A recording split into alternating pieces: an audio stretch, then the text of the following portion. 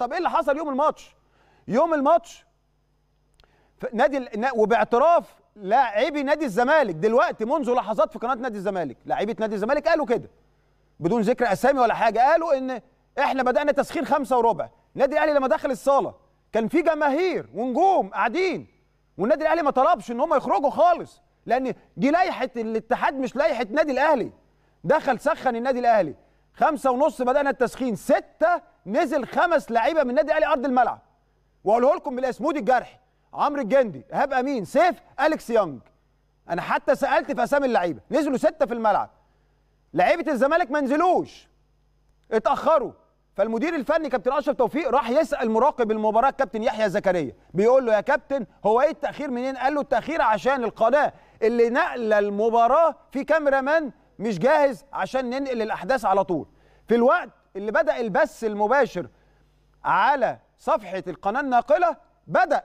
أنا كنت دخلت عليه واتفرجت. يعني بعد كده معنى كده إن خلاص المباراة هتتلعب يعني النادي الأهلي ما راحش. أول ما دخل قال لك لا طلع لي الناس. ما حصلش. اللي بيتقال بهتان اللي بيتقال مش صح.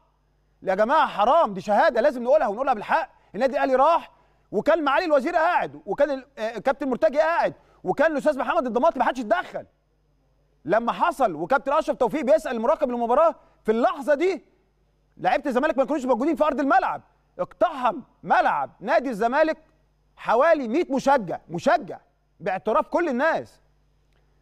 مراقب المباراة قال ستوب أنا لازم الملعب يتم اخلاقه لأن هو بيطبق لوائح هو الراجل الراجل بيطبق لائحتي أنا كنادي أهلي بيطبق لائحة اتحاد السلة اللي أكد عليها يوم 21 مارس. صح غلط مش قضيتي أنا.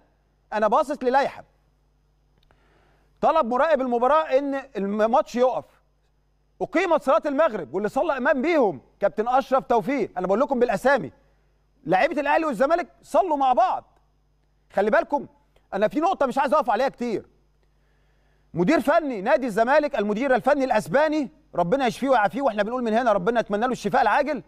عنده كورونا وتعبان وتم نقله للمستشفى بنقول له ألف سلامة. ما كانش هيكاتشن المباراة. تمام؟ و بيصلوا هم مع بعض صور من ارض الملعب. بيصلوا ما فيش أي مشكلة خالص ما كانش فيه مشكلة. واللي حصل إن هم كانوا بيصلوا مع بعض والمدير الفني طبعا مصاب بكورونا ربنا يشفيه يا رب من كل قلوبنا بنتمنى له الشفاء العاجل ويرجع تاني يقود فرقة نادي الزمالك. آه، آه، الراجل ما كانش فنادي الزمالك وضعه مدير فني غايب محترف في أمور كده مش هقف كتير على الموضوع ده يعني. ولكن الماتش يقام لصالح يعني إحنا النادي الأهلي عايز الماتش يتلعب.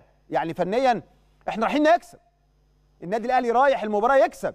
وكسبان قبلها الجزيرة ومتسيد المباراة. إحنا في حالة فنية فايقين. أنا بكلمكم على مش هقف على دي كتير. يعني لمصلحة مين الماتش يتلعب أو مش مصلحة مين مش هقف عليها. صلوا المغرب رجعوا الجمهور قعدنا في قصة الجمهور دي من الساعة 6 و5 ساعة ونص.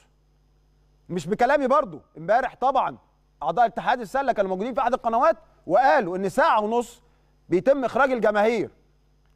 وإنه مراقب المباراة أصر إن الصلاة تم اخلاقها تماما. لأن الموضوع إيه يا جماعة؟ ما هو أنا لما في جمهور يخش الصالة طب هو دخل إزاي أصلا؟ هل يحصل ده؟ ممكن يحصل في صالة النادي الأهلي؟ مستحيل. أنت لما تطلب مني إخلاء المباراة في في صالة النادي الأهلي في no time هتلاقي الصاله تم إخلاءها. أمن النادي الأهلي مسيطر على الصاله تمام. فأنت لما يحصل جمهور يقتحم كده وهو مش مصرح طب دخل إزاي؟ اللي راح صالة نادي الزمالك عارف الصالة جوه النادي. الجمهور ده دخل جوه النادي إزاي؟ فلما أنت ال- ال- الجماهير دخلت ومراقب المباراة وقف. النادي الأهلي طلب إيه؟ أهو أنا طب أنا هسأل سؤال الصورة دي أنا أعرف خمس ست أشخاص منهم الباقي ما أعرفوش.